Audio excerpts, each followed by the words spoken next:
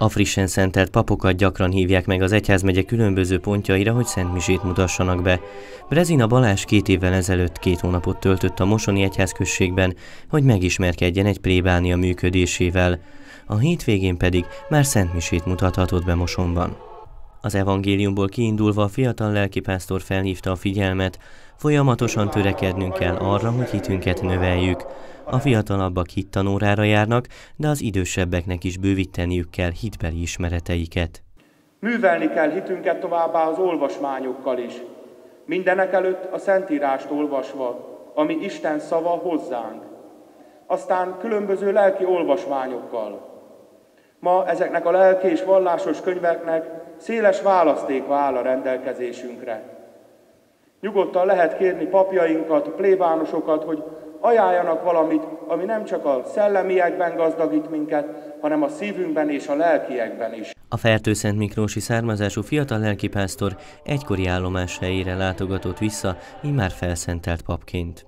Amikor még ugye keresztelhettem diákonusként, az is egy csodálatos dolog, de így mégis papként úgy, úgy valahogyan egészen más és hát, hogy az én szavaim által változik át ott a kenyér és a bor az oltáron, hát ez, ez, ez, ez erre nincsenek szavak, ez, erre nem tudok mit mondani, mert ez, ez csodálatos.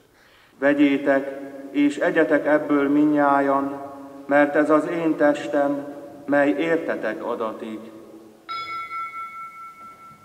A Szentmise végén Kapui Jenő plébános köszönte meg az oltárszolgálatot, és a hívek imáit kérte a most induló lelkipásztori életútra imádkozzunk érte, hogy a megkezdett papélet legyen egy boldog papélet, legyenek jó paptársai, segítői, és legyenek jó hívei, hogy valóban az ő papi munkája váljék Isten dicsőségére és a rábízott hívek javára.